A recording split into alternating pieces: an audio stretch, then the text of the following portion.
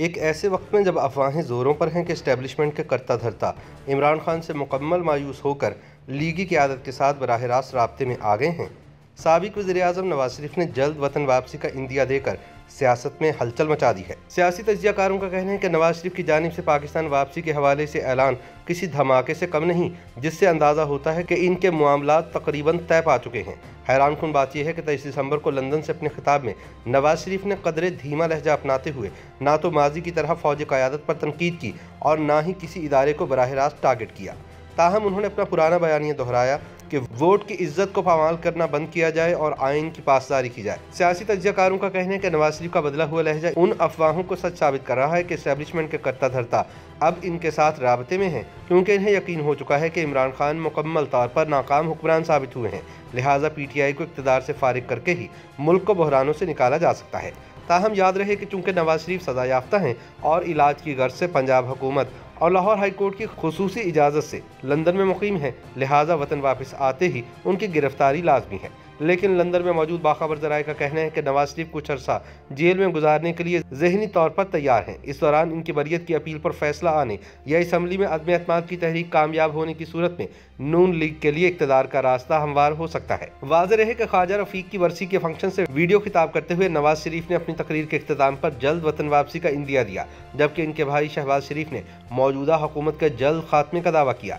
सबक वजी अजम ने हाजरीन से कहा कि नए पाकिस्तान के नाम पर नालायकों और खलंडरों का टोला आवाम पर मुसलत कर दिया गया, जिसने नए पाकिस्तान का नाम लेकर पुराने पाकिस्तान का भी बेड़ा गर्क कर दिया। पाकिस्तान में गुर्बत और तनहाई है और बैरूनी दुनिया में भी मुल्क की रसवाई है। कायद नून लीग ने कहा कि मुल्क में जिसकी लाठी, उसकी भैंस वाला कानून चला तो वोट को इज़्ज़त नहीं मिली। वोट को इज़्ज़त दो वाली बात होती तो हालात मुख्तलिफ़ होते। आइन और जमहूरियत और मुल्क से बार बार गद्दारी होती रही। ये वो सवाल हैं जिन्हें हर पाकिस्तानी को याद रखना चाहिए।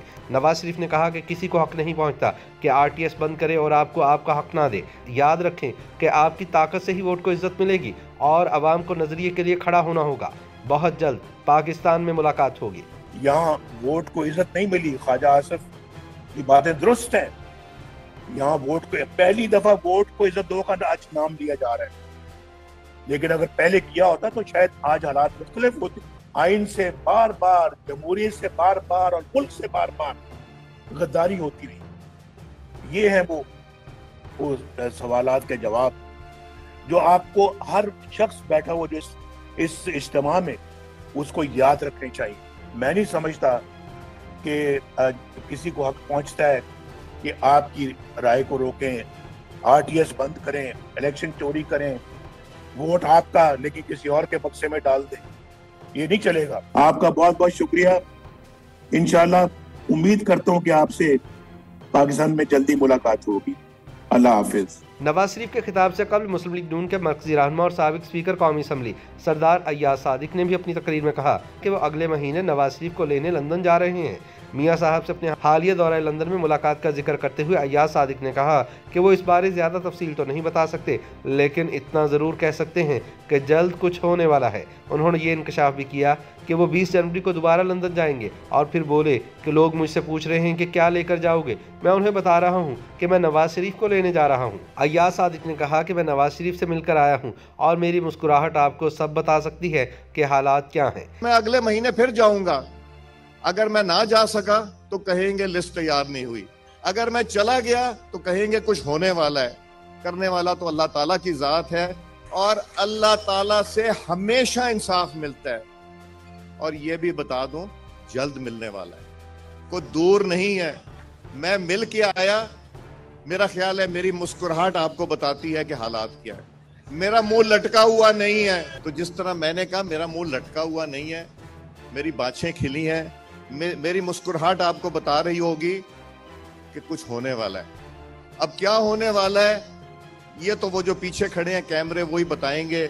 इस मौके पर नून लीग के सदर शहबाज शरीफ ने कहा कि मौजूदा हुक्मरानों का धड़न तख्ता होने वाला है। इनके घबराने का वक्त आने वाला है। आपका धड़न तख्ता इंशाल्लाह होने वाला है आपका बिल्कुल। आपका धड़न तख्ता होने वाला है। आपने पाकिस्तान के साथ जो जुल्म किया है अल्लाह ताला इसका हिसाब ज़रूर लेगा।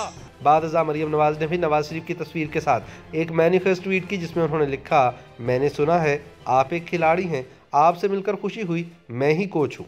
नवाज़ शरीफ की जानब से जल्द वतन वापसी का इंदिया दिए जाने के बावजूद सियासी तजियाकारों का कहना है कि अभी सबक वजी अजम की वतन वापसी की फ़िज़ा पूरी तरह हमवार नहीं हुई और कुछ अहम मामला तय पाना अभी बाकी हैं। सीनियर तजियाकार सुहेल वड़ाइज का ख्याल है कि नवाज़ शरीफ को आम इंतबात से कबल वतन वापस आना ही पड़ेगा, ताहम जब तक कोई बड़ी पेशरफ नहीं होती और मामला तय नहीं पा जाते, वो पाकिस्तान नहीं आएँगे।